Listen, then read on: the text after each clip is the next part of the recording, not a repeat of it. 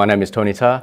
I'm one of the co-founders of Olla AI, and we are building a virtual assistant um, a, uh, that, that's going to help businesses uh, run their business. Um, Ola stands for Oriented Learning Lifelike Automation, and we wanted to build something um, where uh, you know people could uh, talk to the system and and get tell it what you want it to do and it'll go away and do it. We did go to other people first and they, they just weren't really interested. When I reached out to MindsDB, I got a response pretty much the next day and it, has been great working with the team uh, since then. Aside from the fact that you guys have some really, really clever and uh, people in this space, um, super smart people.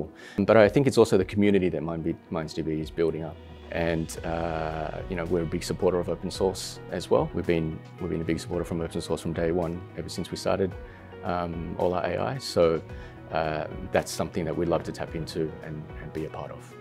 I think it takes you know.